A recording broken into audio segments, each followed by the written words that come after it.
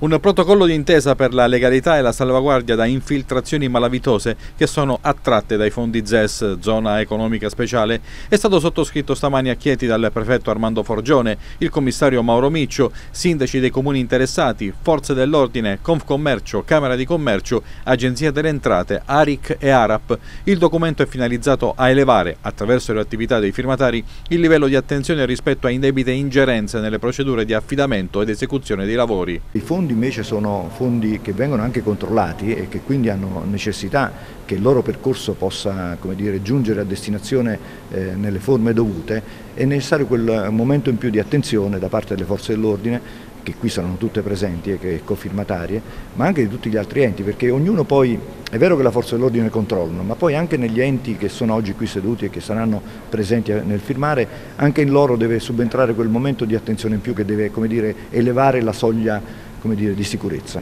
E il volume di denaro attira, attira l'attenzione inevitabilmente eh, di chi non eh, è dire, contornato da una cornice di legalità. La struttura commissariale ZES nasce per semplificare le procedure con cui le aziende possono potenziare logistica, digitalizzazione efficientamento energetico, tra le altre cose. Ma ciò deve avvenire in condizioni di massima sicurezza, senza che i flussi vengano intercettati da organizzazioni criminali. Nella zona di Chieti abbiamo 40 dei 50 milioni che sono di competenza del commissario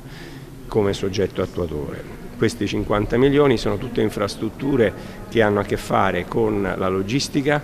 con largamente porti e mh, mm, collegamenti ferroviari e stradali con i porti. Io sono abbastanza sereno che noi abbiamo firmato una collaborazione con la Guardia di Finanza nel mese di aprile di quest'anno. Abbiamo una collaborazione stretta con tutti e quattro i prefetti, anche di zone dove non ci saranno lavori, mi riferisco all'Aquila e a Teramo, eh, proprio perché ci sia sempre, anche per quanto riguarda gli insediamenti produttivi, grande attenzione che si evitino quei passaggi tecnici che magari fanno passare di mani eh, aziende all'ultimo momento eh, con il rischio che ci possono essere. il Presidente Mattarella, lo stesso Presidente del Consiglio hanno di fronte ai milioni, anzi ai miliardi del PNRR, hanno sempre dato attenzione alle procedure, io credo che sia assolutamente logico che ci sia la massima collaborazione, la massima condivisione con quelle che sono eh, le regole.